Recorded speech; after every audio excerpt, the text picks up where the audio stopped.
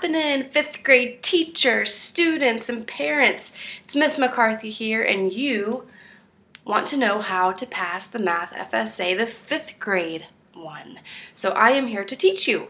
Um, today we will be working on this standard. It's MAFS.5.OA.1.1, which today it's going to be lesson one, and we will be evaluating numerical expressions.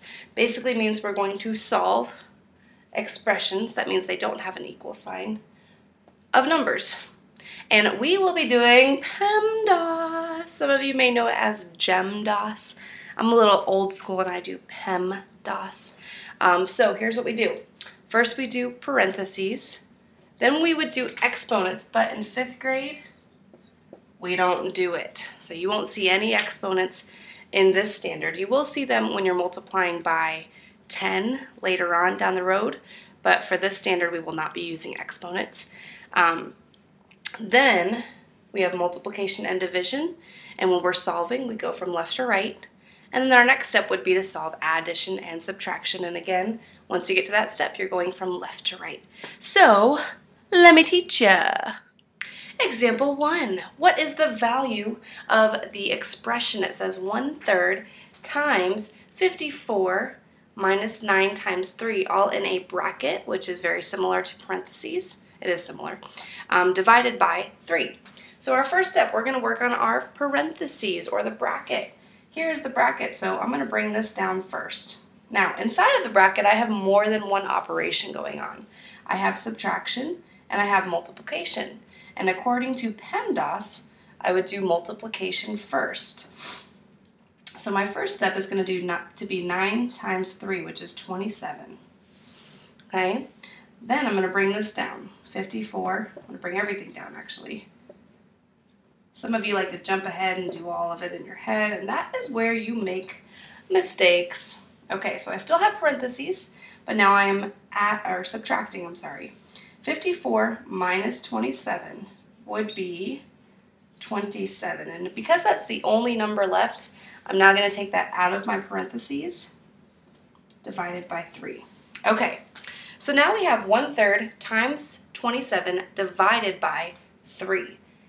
So I have multiplication and I have division. So which one do I do first? Because they're on the same line.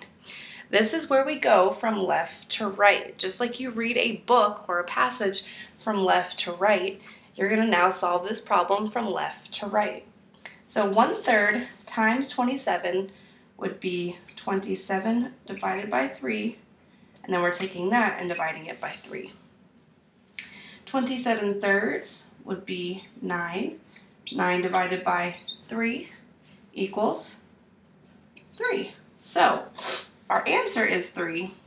Since you are taking the computer-based test this year, um, you will see an equation editor that looks like this.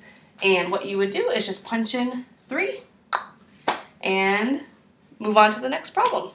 All right, so we're on example 2, and example 2 says, what is the value of the expression? I've written the expression down right here, and I see two sets of parentheses. So where do I start? Well, really, you can just start by solving them both out, and I like the left to right method, so that's what I'm going to do. So left to right, I've got 5 minus 3. And I know that it is subtraction within there, but really our first step is parentheses. So it's okay to go left to right like this. All right, so 5 minus 3 equals 2. 100 divided by 5 equals 20. And now I'm going to bring down all the other numbers and symbols. So 7 times, and then my plus sign. So now I've got multiplication and addition, and I need to go to multiplication next because again, I don't have exponents. So I'm going to do 14, I'm sorry, jumping ahead. 7 times 2, which is 14, bring down my plus 20. 14 plus 20, now that's my addition step, and all that I have left would be 34. So in my equation editor, I'm going to write in 34, but again, you'll take a computer-based test and you would punch in 34. Moving right along to example 3, it says select all the expressions that have a value of 10. This is a multi-select problem because it says to select all the problems. So I need to solve each one out and see which one has a value of 10. So let's do it. All right, so first I've got two sets of parentheses here. This is A. Um, so I'm going to solve them, and I'm going to go from left to right as well here. So, so 8 times 9 is 72. 4 times 3 is 12. When I subtract them, I get 60. So this is not, this expression does not have a value of 10. B, I've got, again, two sets of parentheses. I'm just going to solve them both out. 100 minus 50 is 50. 1 half times 10 will be 10. 10 divided by 2, which is 5. And 50 divided by 5 will give me a value of 10. So B is one of our answers. C, I've got parentheses, parentheses. I'm going to solve those first. 3 times 1 is 3. 6 times 1 third would be 6 over 3, which would be 6 divided by 3, which is 2. And I'm going to bring down my um, symbols and my numbers. Now I've got addition and multiplication. Multiplication comes first. So 2 times 3 is 6. Bring it down. And 3 plus 6 is 9. 9 is close to 10, but it is not 10. All right, D. Here I have brackets going on. Um, those are very similar to parentheses, so we solve them accordingly. And within the brackets, I have multiplication, subtraction, and multiplication. So I know that I need to multiply first. I'm going to multiply going from left to right. So 12 times 5 is 60. 2 times 20 is 40. And I'm bringing that subtraction sign down. I'm going to keep the brackets for right now. Bring down my 1 half and my multiplication sign. Now I have 60 minus 40 that I'm solving in parentheses because I'm still at that step. 60 minus 40 is 20. Bring everything down. 1 half times 20 would be 20 over 2, which is like 20 divided by, you can't see that, 20 divided by 2, which equals 10. So D is an answer choice. Let's solve E. All right, I've got two sets of parentheses. Let me start there. 7, and 4 plus 3 is 7. Now that they're out of parentheses, I can add them. So 7 plus 7 equals 14, which is not a value of 10. Okay, example 4. It says an expression is shown. 1 fourth times 6 minus 2 plus 1. Create an equivalent expression that includes a set of parentheses so that the value of the expression is 2. So basically what I have to do here is rewrite this expression, but I need to include a set of parentheses in it. And parentheses are important because that changes the order that you um, work out a problem, which could then change the value. So we need to see where we can plug in parentheses to get a value of 2. So I'm looking here, I put a couple examples up on the board because I'm going to try to work it out. Um, let's see, so what if I were to put my parentheses here? Okay, that would mean that I would have to solve 1 fourth times 6 first. So 1 fourth times 6 would be 6 fourths there. I'll reduce it in a little bit because I can because they're both even. And I bring everything else down. Okay, so now we need to go from left to right because I have a subtraction and addition and I do that in order from left to right. So I'm going to do 6 fourths minus 2 fourths. Well, I can't do that. I need to get a common denominator. So 2 would be equivalent to 4, oops, if I have fourths as my denominator, I need 8 on top because 8 divided by 2, 8 divided by 4 equals 2. And then adding 1, 6 fourths minus 8 fourths, I can't do that. That's getting into negative numbers and you don't learn that yet. So this would not work. Okay, so this is a, this is a non-example. No. Let me try somewhere else.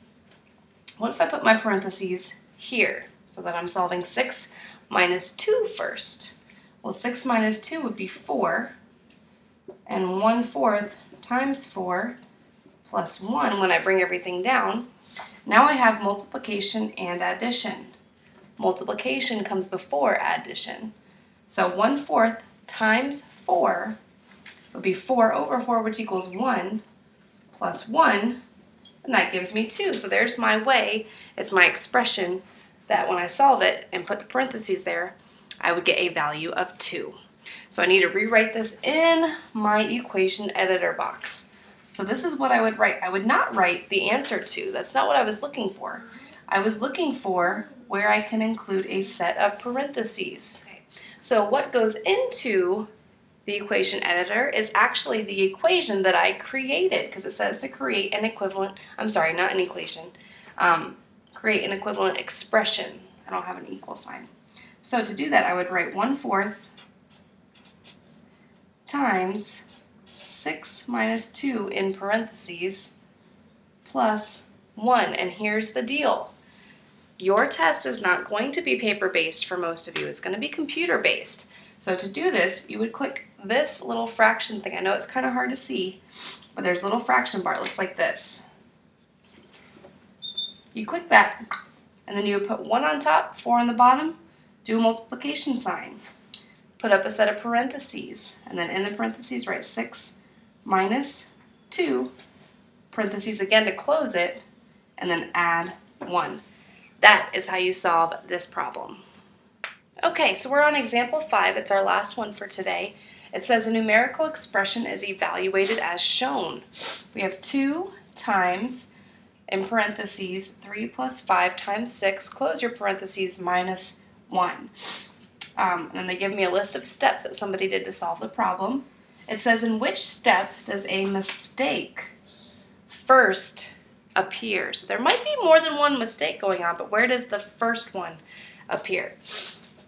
So I see that they went from this. Now, looking at it, our first step should have been to solve in the parentheses, and that would be 5 times 6, because we have addition, we have multiplication, and we know that multiplication comes first in the order of operations. So they would do 5 times 6 first, which this person did. They brought the 3 down, brought the 2 down, brought the minus 1 down. So step 1 looks good. All right, so moving on to step 2. Next, we still have parentheses that we need to address. So 3 plus 30 would be 33. And that is correct. They did the next step correctly. They brought down the 2, they brought down the minus 1. So step 2 is correct. Where is the mistake?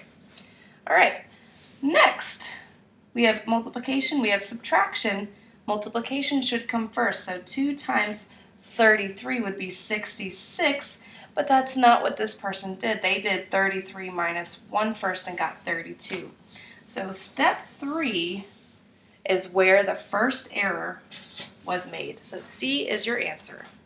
All right, everybody, before you leave, let me leave you with a motivational message. This one says, every accomplishment starts with a decision to try. What do you want to accomplish? Is it that you want to get all A's? Is it that you want to learn how to juggle? Is it that you want to, uh, I don't know, run a marathon, run a half marathon, run a 5K? You have to make the decision to try.